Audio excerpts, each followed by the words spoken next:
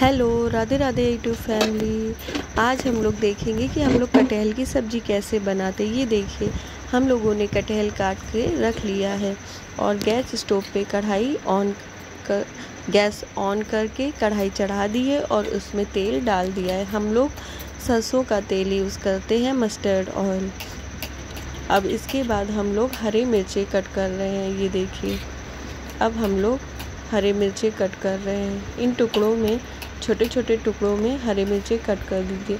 अगर आपके घर में बच्चे हैं और वो मिर्ची नहीं खाते हैं तो इस तरीके से आप मिर्ची मत कट कीजिएगा। एक मिर्चे को उठा के उसमें सजे मिर्चे में बीच से कट लगा दीजिएगा। बस, इस तरीके से आप मिर्चा बाद में निकाल के अलग कर सकते हैं।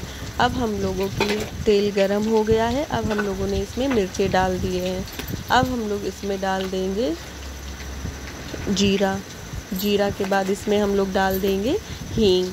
अब इसके बाद हम लोग कटोरी में मसाला बनाएँगे। मसाले का घोल कह लीजिए या फिर पेस्ट जब तक ये कढ़ाई में जो मसाले डाले हैं, वो पक रहे हैं, तब तक हम लोग कटोरी में मसाला बना लेंगे। ये देखिए हम लोगों ने हल्दी पाउडर डाल लिया है कटोरी में। अब हम लोग धनिया पाउडर डालेंगे गरम मसाला डालेंगे। इसके बाद आप लोग लाल मिर्च खाते हैं तो लाल मिर्च भी डाल दीजिएगा मीट मसाला डाल दीजिएगा जैसा आप लोग खाना पसंद करते हैं वैसे आप लोग डाल सकते हैं। और अब इसमें थोड़ा सा पानी डालेंगे। पानी डालने के बाद इसको स्पून से मिक्स करेंगे। ये देखिए, हम लोग मिक्स कर रहे हैं। अब हम लोगों का कढ़ाई का मसाला पक चुका है। अब इसमें ऐड कर देंगे। ये देखिए, अब कढ़ाई में जो हम लोगों ने मसाला डाला है, इसको अच्छे से मिक्स कर लेंगे स्पून से। ये देखिए, इस तरीके से। ये देखिए, मसाला पूरी तरीके से पक चुका है। चारों तरफ़ से तेल छोड़ दिया है।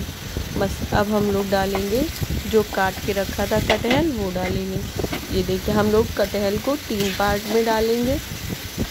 थोड़ा थोड़ा करके ये देखिए, पहले हम लोगों ने थोड़ा सा डाल लिया है और इसमें सारे मसाले को अच्छे से मिक्स कर दिया है। अब हम लोग दूसरी बार वाला कटहल भी डाल देंगे सेकेंड पार्ट वाला।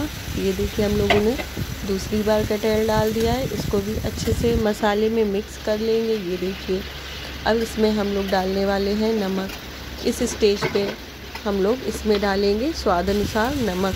ये देखिए, हम लोगों ने इसमें नमक डाल दिया है। अब इसको अच्छे से स्पैचुला से मिक्स कर लेंगे। ये देखिए, जब ये अच्छे से पूरे कटहल में मिक्स हो जाएगा, तब हम लोग तीसरे पार्ट वाला कटहल जो प्लेट में रखा हुआ है, पूरा कटहल कढ़ाई में डाल देंगे। ये देखिए, हम लोगों ने पूरा कटहल डाल दिया है।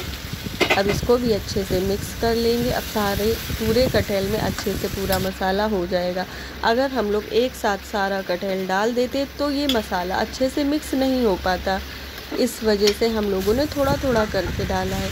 अब देखिए थोड़ा सा हम लोग इसमें पानी डाल देंगे। ज़्यादा पानी नहीं डालेंगे। इसमें हम लोगों ने थोड़ा सा पानी डाला। अब इसको ढक के पाँच दस मिनट के लिए आप बीच में चेक करते रहिएगा कि पक गया है कि नहीं। ये देखिए, हम लोगों ने ढक के रख दिया था। देखिए, अब सब्ज़ी हम लोगों की बन के तैयार है। ये देखिए, कितनी टेस्टी और लाजवाब सब्ज़ी बनी है। एक बार इस सब्ज़ी को ट्राई ज़रूर कीजिएगा।